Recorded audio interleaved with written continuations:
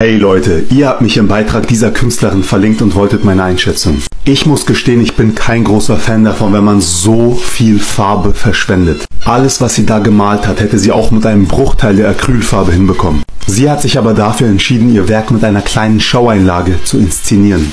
Ich finde, das lenkt stark vom eigentlichen Werk ab. Aber man kann dieses Video auch anders interpretieren. Vielleicht wollte sie wie der legendäre amerikanische Künstler Jackson Pollock den Spaß am Malprozess darstellen. Wenn das ihre Absicht war, müssen wir eingestehen, dass das ziemlich gut gelungen ist. Was sagt ihr dazu?